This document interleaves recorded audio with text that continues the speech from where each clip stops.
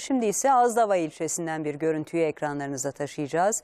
Azdava'da selle birlikte köprüler de çöktü. İşte o anlara dair A Haber ihbar hattına gelen bir görüntüyü ekranlarınıza taşımaya başlıyoruz. Bir köprünün anı bu. Köprünün üstüne geçti.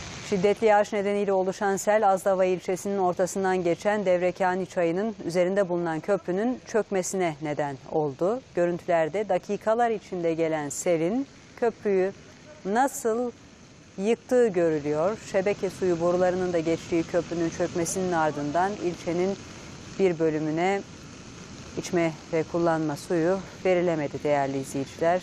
İşte selin gelişiyle birlikte o köprü böyle çöküyor.